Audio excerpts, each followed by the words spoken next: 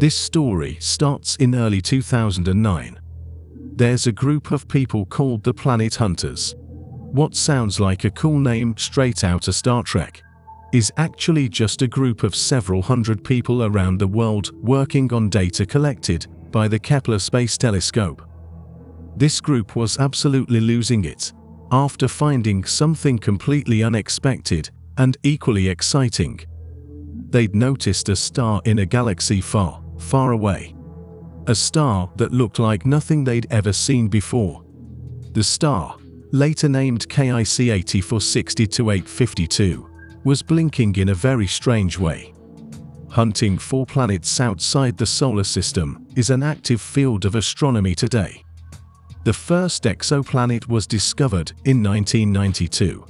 Now there are some 5,000 confirmed planets orbiting stars other than our own. And the number keeps increasing every year. NASA's Kepler Space Telescope alone was responsible for finding over 2,000. It did so by watching the stars in a patch of the sky for weeks, months or even years at a time. When a planet that goes around one of these stars crosses against the face of its star, it casts a small but definite shadow in the starlight. These shadows are recorded and can be used to calculate the size of the planet. The larger the planet, the more light it blocks. And this star was being consistently flagged by citizen scientists as interesting and bizarre. The star they were looking at did look like an anomaly, and was totally not normal. As scientists tried their best to come up with legitimate explanations, a new theory started going around. That the star was being used as an energy source by an alien species. Orbit. Beyond the blue. Alien civilizations might re-engineer their stars to give their planets a longer lifespan. Researchers involved in the search for extraterrestrial intelligence, or SETI, have suggested many times that technologically advanced aliens might build structures we can see from Earth, such as Dyson swarms, objects surrounding a star to capture as much of its energy as possible. A few other SETI researchers have suggested that instead of just trying to harvest solar energy from their host star, really ambitious alien civilizations could, in theory, actually blow material away from the star to make it live longer. And that effort to buy the civilization another few billion years of survival might also be visible to astronomers here on Earth. Our sun is going to die someday, and it will take the entire inner solar system with it. If there's still life on Earth in 5 billion years, its time will have run out. But what if that future life is a technologically advanced civilization that can pool its resources and actually stop the sun from expanding? That sounds like a science fiction plot. But science fiction and actual science sometimes run very close together. Especially when SETI researchers are trying to work out what evidence of a distant alien culture might look like. Stars like our Sun spend most of their lives as gargantuan thermonuclear reactors, fusing hydrogen atoms into helium atoms deep in their cores. That reaction releases tremendous amounts of energy, which pushes against the star's tremendous weight, keeping the whole thing from collapsing. But when the hydrogen runs out, so does the clock on life in the solar system. Over the years, Several researchers have suggested that an extremely advanced civilization could find ways to pull huge amounts of mass away from its host star. Removing enough mass would reduce the pressure and temperature in the star's core. That, in turn, would slow down nuclear fusion, which means the star's hydrogen fuel would last longer. But how exactly would hypothetical aliens siphon enough super hot gas away from a star to make a difference? Nobody is drawn up a blueprint yet, of course. But one 2017 study suggested that aliens could use a big laser to boost the power of a star's stellar winds, which would make the star shed mass faster than it normally would.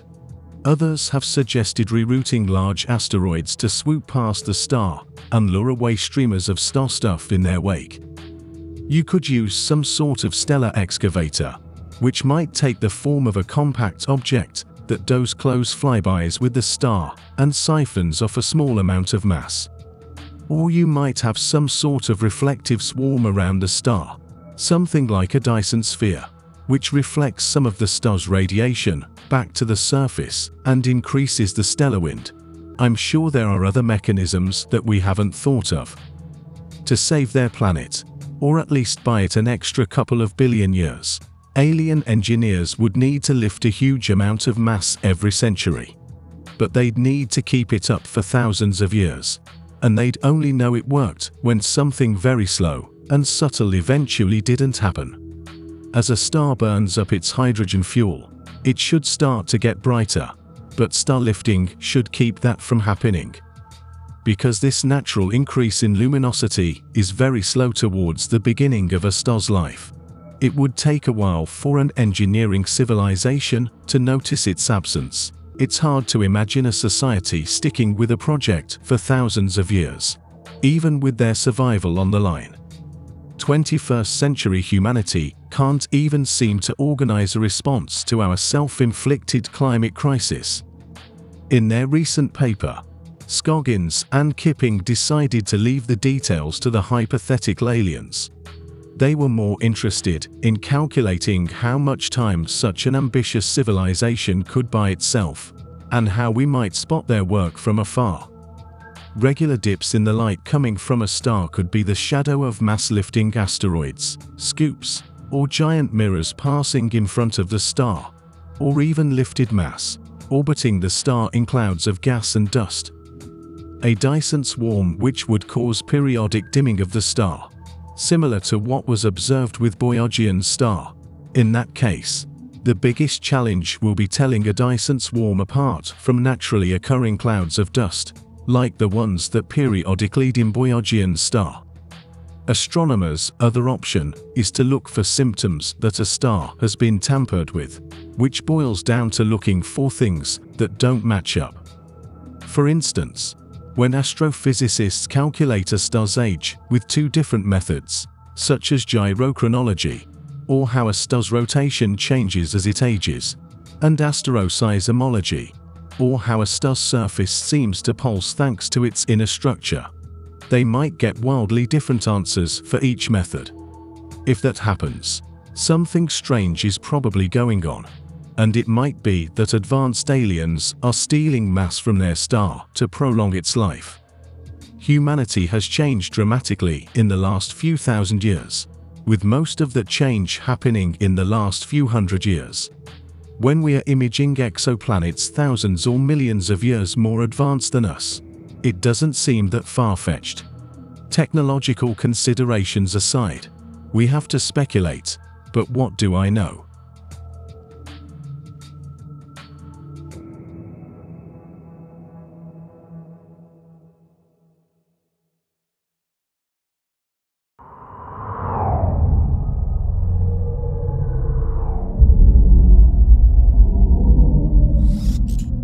Orbit. Beyond the blue.